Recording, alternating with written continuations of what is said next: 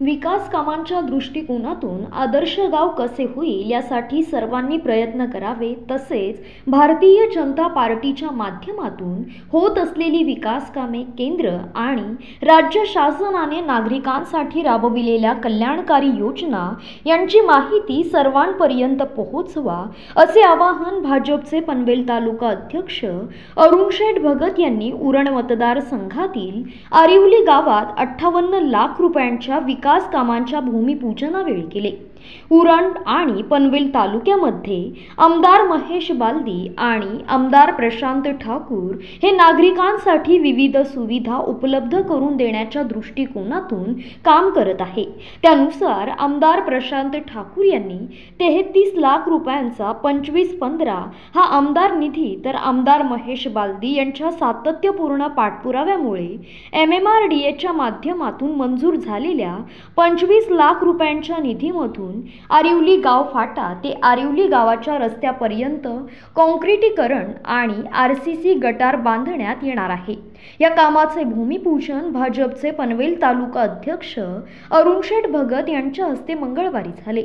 यावेळी भाजपचे पनवेल तालुका सरचिटणीस प्रल्हाद केणी भूपेंद्र पाटील भाताणचे सरपंच तानाजी पाटील शिवकर ग्रामपंचायतीचे सरपंच आनंद ढवळे गोळसुंदे विभागीय अध्यक्ष डॉक्टर अविनाश गाताडे माजी उपसरपंच महेंद्र गोजे अनंता पाटील जयंत पाटील पुंडलिक पाटील प्रकाश पाटील चंद्रकांत गोचे गोपाल राऊत अरुण पाटील दीपक ठाकूर अनिल काठावले महादेव पाटील काशीनाथ दाभणे आत्माराम गोजे हरिभाऊ पाटील महादू गोचे यांच्यासह पदाधिकारी कार्यकर्ते आणि ग्रामस्थ उपस्थित होते. आज आपण पनवेल आणि उरण दोन्ही विधानसभा मतदारसंघामध्ये एवढी विकासाची कामं आज चालू आहेत. किती मला वाटते परंतु आज आरिवली पोस्ट संपूर्ण गाव आपल्या विकासाच्या कामाला साक्षी राहण्यासाठी या ठिकाणी उपस्थित आहे. खरोखर अशा पद्धतीनं गावातली कामं भूमिपूजन असू द्या उद्घाटन असू दे जास्तीत जास्त कार्यकर्त्यांनी त्याच्यामध्ये सहभाग घ्यावा. आपल्याला माहीत होतं कोणी काय केलं आहे आपल्या घरात माहिती होतं कोणी काय केलं आहे आणि अशा पद्धतीनं आपण तुम्ही या ठिकाणी मोठ्या संख्येनं उपस्थित राहिल्याबद्दल तुमचं सर्वांचं मनापासून आभार मानतो. तुमचं स्वागत करतो आणि माननीय आमदार प्रशांत ठाकूर साहेबांच्या माध्यमातून मला वाटतं आरिवली गाव भरपूर कामं झाली राम शेठ आहेत रडणार आहे इकडे महेंद्र गोजे आहे. परंतु आपण एक आदर्श गाव कसा होईल विकास कामाच्या दृष्टिकोनातनं या दृष्टिकोनातनं खरं म्हणजे आपण प्रयत्न करायला पाहिजे. आपल्या शिवकर गावचे सरपंच या ठिकाणी भूपेंद्र पाटील आहेत. या दोघांच्या ग्रामपंचायती आहेत. दोघे पण सरपंच आहेत. एखादा भाऊ आहे एखादा एक सदा सरपंच आहेत पण आके अनेक विकासाची कामं आमदार साहेबांच्या किंवा माझ्या मागं लागून ते आज गावामध्ये करून घेत आहेत. आणि हेच खरं आहे आपण रडलो नाही तर बाळ बाळ रडला नाही तर बाळा दूध जसं पाजत नाही. तसं आपण जर आमच्याकडे कंप्लेंट नाही केली किंवा मागणी नाही केली तर आपल्याला गावात विकासाचं काम कशा पद्धतीनं होतील? पण तू नेहमी सांगत राहिला मी तशी माझी दोन कामं टाकली महेंद्र आलं दोनच कामं आमच्याला. गाव किती मोठं आहे? मग दोन कामं का कमी झाली का सांग रामशेठ सांगा तुम्ही आता तर अशा पद्धतीनं मागणी ही वारंवार असणं गरजेचं आहे.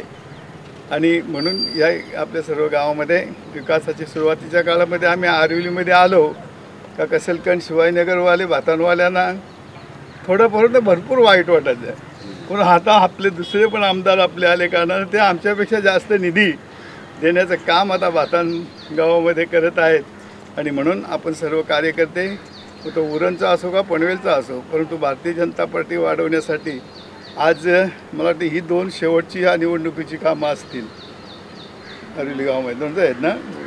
पुढच्या वेळेला जर आपल्याला भरघोस मतदान वाढीव भेटलं तर मग अजून आपण चांगल्या पद्धतीनं हा आदर्श गाव करण्यासाठी प्रयत्न नक्कीच करू. म्हणून गाववाल्यांनी सर्वांनी चांगलं काम करा.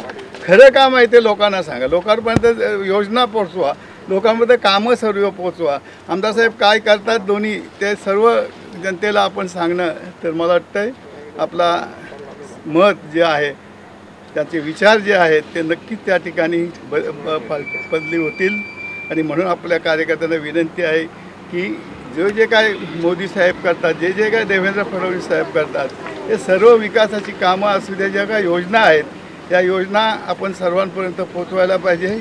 माझी लाडकी बहीण योजना तर आता सगळीकडे पेव मोठ्या पद्धतीनं सर्व महिलांना तीन हजार कोणाला आता मग या महिन्यात भरेल त्याला साडेचार हजार.